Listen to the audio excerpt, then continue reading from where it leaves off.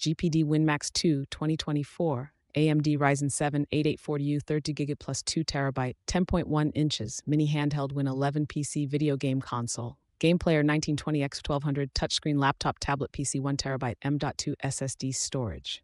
About this item GPD WinMax 2 2024 CPU, AMD Ryzen's Ryzen 7 840U processor, 8 cores, 16 threads, base frequency 3.3 GHz, max turbo frequency up to 5.1 GHz. Graphics AMD Radeon 780M RNDA3 graphics card, graphics framework, 12 graphics cores, 2700 MHz graphics.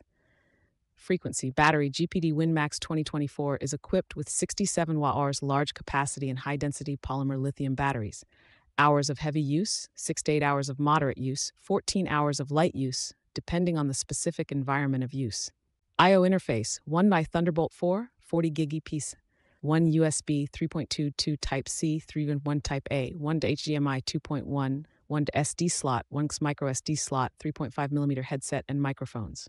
Joystick, Hall sensor sticks, stepless, super linear, no dead zone, sync in design, native support for down pressure sensitive L3 R3. Mouse. The joystick simulates a mouse, requires switching the mode handle mouse.